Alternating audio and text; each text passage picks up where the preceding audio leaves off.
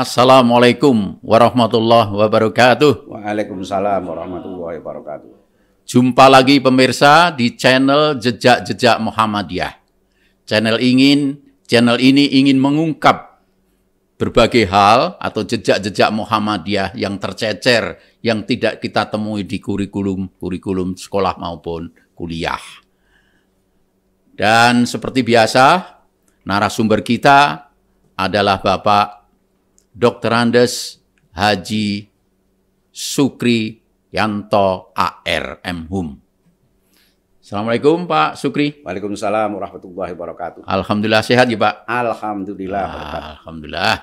Nah, kali ini Pak Sukri kita akan bincang-bincang terkait dengan sesuatu yang mungkin tidak pemirsa belum tahu ya. Ya. Saya dengar sering ada piala Suratin Cup ya, Ya. atau Suratin Cup di tingkat nasional itu ya. Ya. Dan saya dengar itu tokoh Suratin ini juga ada kaitannya dengan Muhammadiyah. Benar nggak Pak? Benar.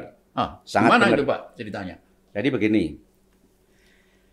Kiai Dahlan itu waktu kira-kira tahun 1908 mulai berkenalan dengan apa, Budi Utomo. Hmm. Ada di antara eh, salah seorang yang bernama Raden Ngabei Sosro Sugondo.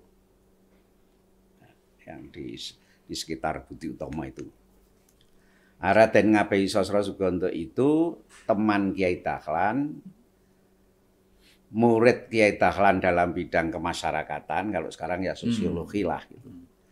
Tetapi, eh guru Kiai Dahlan dalam bidang kemasyarakatan, tapi murid Kiai Dahlan dalam bidang agama. Oh. Jadi kalau ada masalah-masalah agama, Pak Sosro Sugondo itu tanyanya tanya ke kepada Kiai Sosro Sugondo ini punya anak namanya Suratin. Hmm. Ketika lulus dari apa mungkin ITB ya, dia akan ke negeri Belanda. Hmm. Tapi dilarang oleh Ayahnya. ayahnya. Udah kamu di sini saja di Jogja saja. Nah, kebetulan pada waktu itu kira-kira tahun ya mungkin 1927 28 itu kalau enggak. Pak Farid Ma'ruf Oh iya iya iya. ya kemudian dikenal Profesor sebagai Farid Profesor Haji Muhammad. itu kan salah satu peserta pengajian wal asri Hmm.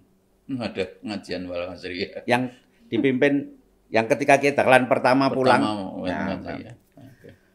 Nah, di antara murid-muridnya itu beliau waktu itu ketua kelompoknya dicari yang termuda yang bernama Hajid Raden Hadi Hajid